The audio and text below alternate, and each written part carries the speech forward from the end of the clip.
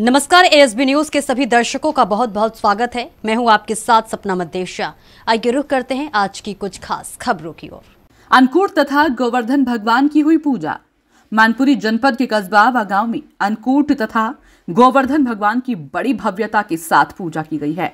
कहा जाता है कि द्वापर युग में भगवान श्री कृष्ण ने जन्म लिया और उन्होंने आसुरों का वध किया। एक दिन उन्होंने भगवान इंद्र का घमंड को चूर करने के लिए गोवर्धन पर्वत को अपनी एक उंगली पर उठा लिया था और नंदगाम को इंद्र देवता के क्रोध से बचाया था। उसी दिन से गोवर्धन पर्वत की पूजा की जाती है। इसमें सबसे पहले स्नान करके सुबह महिलाएँ श्याऊ माता की पूजा, हल्दी, चंदन, खील बताशों से मंगल गीत गाकर तथा अपने घर के आँगन में भगवान गोवर्धन को गोबर से स्थापित कर उनकी पूजा करते हैं और अन्न से उनका भोग लगाते हैं। इसलिए अन्नकूट पूजा भी कहा जाता है।